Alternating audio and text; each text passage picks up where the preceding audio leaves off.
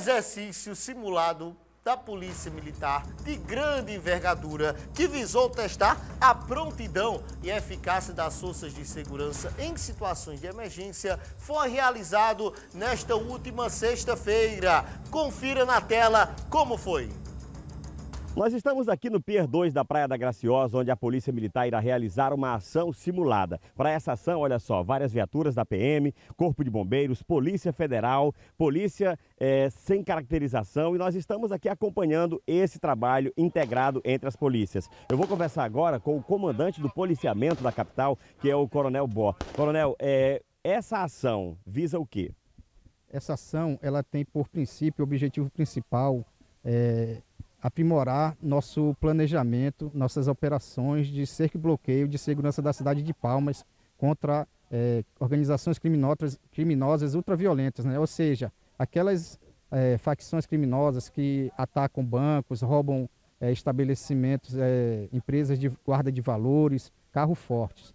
Então, a gente faz os nossos simulados, né, nossos exercícios simulados para fazer, estar tá prevenindo é, o embate contra esses criminosos ultraviolentos. E também participamos, de, é, com a, estamos contando com a participação né, de instituições do sistema de emergência, né, como SAMU, DETRAN, é, a Agência de Trânsito do município, Guarda Metropolitana, Corpo de Bombeiros, SAMU, né, e, e aqui faz parte de uma grande operação de também de treinamento do Corpo de Fuzileiros Navais.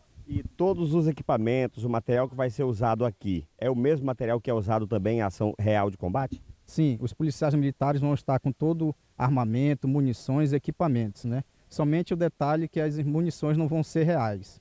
Elas são munições de festim, para, como está sendo um exercício simulado, né? vamos usar é, munições de festim dentro de um ambiente controlado. Né? Por isso que tem toda a divisória aqui, né? a posição do, dos assistentes, né? um local isolado, para não trazer nenhum dano a, a qualquer que seja a pessoa. Qual a necessidade de estar realizando esse treinamento?